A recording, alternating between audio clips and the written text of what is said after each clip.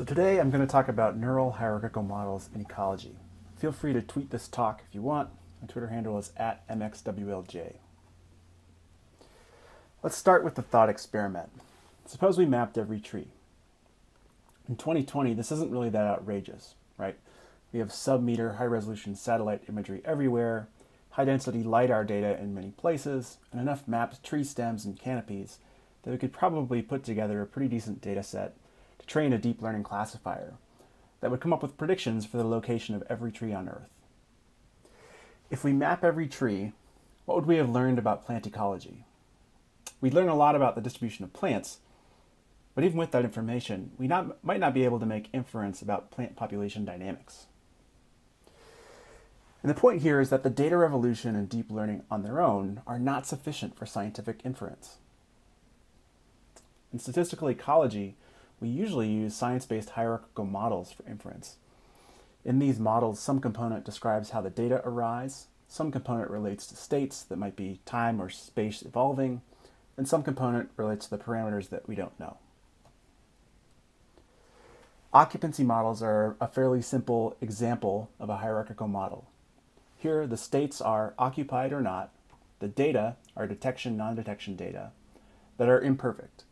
So for example, we might have false absences in this data set, where a site is occupied but we fail to detect that species. The parameters are p, the probability of detection, and psi, the probability that a site is actually occupied. In these models, parameters can depend on covariates. So we might have some function f that maps altitude, temperature, greenness, etc. to the probability of occupancy. And often we assume linear relationships, maybe on some transformed scale. So for an occupancy probability, we might use an inverse logit transform and take a linear combination of our inputs x, where beta is a parameter vector. But we can also accommodate nonlinearity. And there are some really good examples in the literature and that we've seen this past week of people using polynomials, spline basis expansions, and other methods to approximate nonlinear mappings from inputs to parameters in science-based hierarchical models. But what about neural networks? Neural networks are just function approximators. They map some set of inputs x to a hidden layer or hidden layers, and then predict data y hat as output. So this might be something like, will I see an American robin tomorrow? Or how many American robins can I expect to see tomorrow? But in ecology, simply predicting data is not sufficient for inference, and it's less satisfying than predicting states or ecological dynamics or parameters we actually care about. And so if we're not satisfied with simply predicting data, what could we do? Neural hierarchical models use neural networks to predict parameters. So all I've done here is I've replaced our predicted data y hat with a predicted probability of occupancy psi. In these models, the hierarchical model includes a neural network. Put differently, the neural network is embedded within a hierarchical model and we can estimate the parameters of our hierarchical model and this neural network simultaneously. For the models that I'll discuss today, parameter estimation proceeds by minimizing a loss function that can be written in this form. It's an average over n examples, and we're averaging some differentiable log probability. The nice thing about writing a loss function like this is it permits stochastic mini-batch optimization. So that means we only have to load subsets of the data at a time. We never have to load the entire data set into memory, and this allows us to scale to large data sets.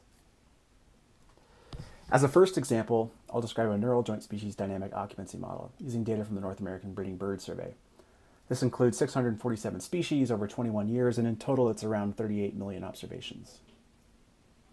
In general, dynamic occupancy models are hidden Markov models that track the time evolution of occupancy states processes we care about are extinction, going from occupied to not occupied, and colonization, going from not occupied to occupied. The data, again, are imperfect and subject to false absences. For this particular neural joint species dynamic occupancy model, I want to highlight two components.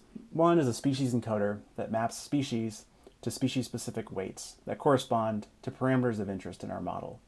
And this extends the idea of deep multi-species embedding, first described by Chen et al. in 2016, to share information among related species, so species in the same genus, family, and order. Another component is a space-time encoder, which combines regional, local, and potentially time-varying information to generate spatiotemporally referenced latent factors. And the combination of these latent factors with species-specific weights can give us our parameter estimates. If we zoom in on how these parameters are actually computed, we'll see some familiar faces. There's a dot product here that looks a lot like dot products in other JSDMs. So here, for our detection model, for example, we're taking a dot product between some spatiotemporal factors, these are latent, and some species-specific loadings, also latent. Worth pointing out here that we can include linear combinations of covariates, just like we would typically do in a GLM. Predictive performance on a withheld test set was pretty good, particularly in the eastern US where we have a high density of data. It was not so great in the northernmost breeding bird survey routes in Alaska where we don't have as much spatial information to borrow. This method assumes not, doesn't make any linearity assumptions for associations among species. So these are occupancy probabilities for mourning dove and barn swallow. Each line is a breeding bird survey route and it's a time series. Each color is a different ecoregion. So the relationships among species can vary by region, can vary through time, and can vary as a function of inputs to the model. Because we're estimating parameters we actually care about, we can do we can make inference about range boundaries. So one theoretical expectation that we have is that range boundaries exist because of gradients in colonization and extinction. For most species, the data seems to be consistent with this theoretical expectation.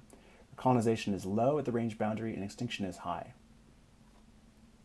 And the nice thing here is we're estimating these dynamics while accounting for imperfect detection. As a second example, I'll outline a convolutional animal movement model, and this is more like a proof of concept. It's a simulated example. On the left, I'm showing a canopy height model where yellow is the top of a tree and dark blue is the ground, and a simulated movement trajectory for some critter that likes to forage in trees. This critter has two behavioral states, in transit shown in black and foraging shown in red. Suppose we don't have access to the canopy height model and we don't observe any states directly. What could we do if we only had aerial imagery and the observed movement trajectories of individuals? Could we use spatial context to inform parameters in a hid, uh, hidden Markov model of animal movement? Of course we could.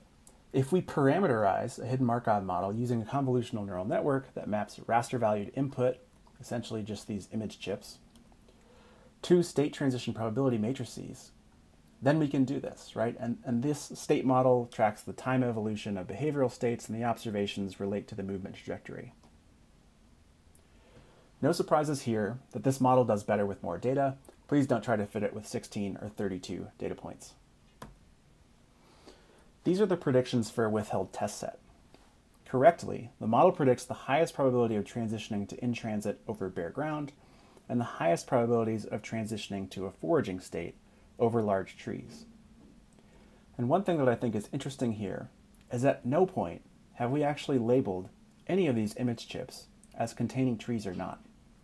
In fact, the movement trajectories themselves, the combination of step sizes, turning angles, locations, and times, act as implicit labels for this model.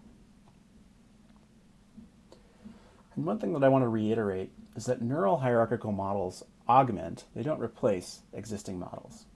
So if there's some component of a model that you know, F in this case, you can retain that and approximate some unknown component of your model using a neural network.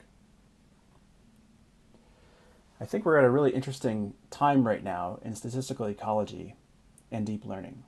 Just this past week, we've seen some really good examples of people using deep learning in new uh, and interesting ways. And maybe it goes without saying that deep learning probably has some useful function approximators that we can borrow in statistical ecology that work well with tabular data, images, time series, and even networks. And now is a good time for us to think about these hybrid approaches as we're faced with an increasing volume and variety of data sets that we want to blend together in order to learn about ecological systems. This is also part of a broader trend towards science-based deep learning.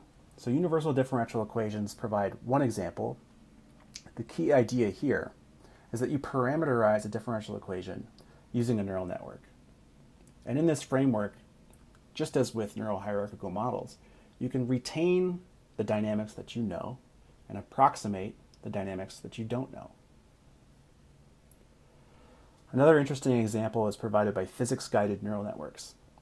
Thing that I think is interesting here is the loss function consists of three terms. The first is an error term that measures the discrepancy between observed data and model predictions. The second is a penalty for model complexity.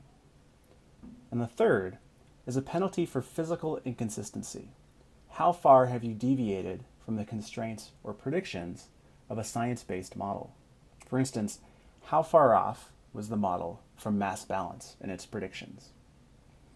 And the nice thing about using a loss function like this is you can train a model that both fits the data well, is parsimonious, and is consistent with known physics. If you want to kick the tires on these models, I've put together a few interactive examples. If you go to github.com slash mbjoseph slash look for this launch binder icon, click on it, and it'll launch an interactive Jupyter Notebook session in your web browser where you can actually see what this looks like in terms of the implementations. Thanks, and with that, I'll take any questions.